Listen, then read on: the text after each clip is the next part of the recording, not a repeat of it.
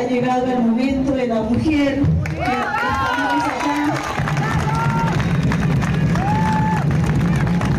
Esa mujer empoderada, esa mujer que cuando se sancionó la Constitución Nacional, allá en mayo de 1853, se decía que teníamos, éramos iguales ante la ley, pero ¿saben qué? No teníamos derecho al voto.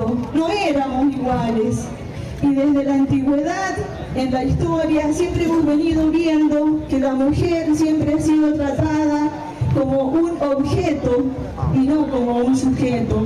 Y la verdad que después, con las leyes y demás, nuestra provincia de San Juan en el año 1927 fue la primera que tuvo el derecho al voto porque se sancionó allí la ley y se puso en práctica en el año 1928 y a nivel nacional se, sancionó en el año 1947 aplicando el voto por primera vez la mujer con nuestra gran compañera Eva Perón en la primera presidencia